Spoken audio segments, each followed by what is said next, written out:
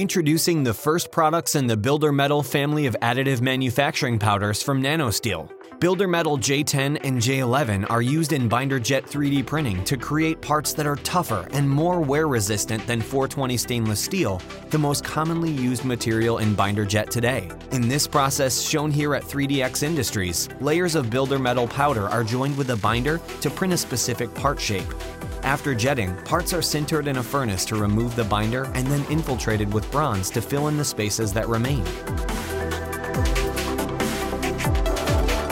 The resulting parts feature exceptional wear and impact resistance. Now, industries such as oil and gas and tool and die can select from new, higher performing materials, enabling the 3D printing of critical components. These are just the first in a portfolio of BLDRmetal products designed to bring hard metals into additive manufacturing.